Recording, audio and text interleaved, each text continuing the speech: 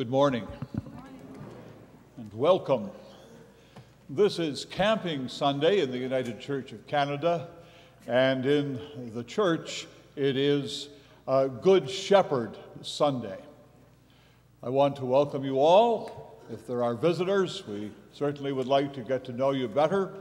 Uh, there will be some refreshments and so on uh, following the service, and everyone is invited